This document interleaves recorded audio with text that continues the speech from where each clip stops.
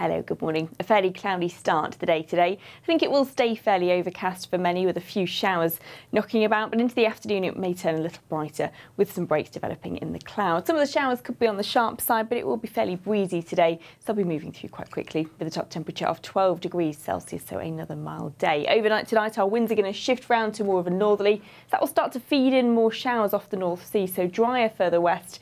A cooler night to come with temperatures dropping back to four or five degrees Celsius. So a cooler start to the day tomorrow. And I think tomorrow, although it will be fairly cloudy first thing, will improve. The afternoon looks mostly dry with plenty of sunshine, feeling chilly though, brisk northerly winds, and that will affect the temperatures along North Sea coast. But a milder day to come on Wednesday.